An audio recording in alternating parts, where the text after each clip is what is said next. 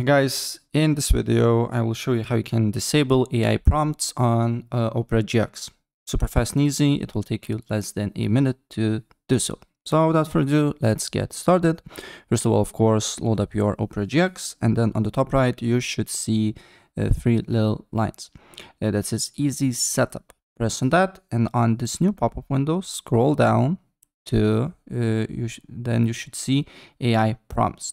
prompts and you just need to turn off this option and that's pretty much it what you need to do here. So if i help you out please press like button and subscribe for more. Take care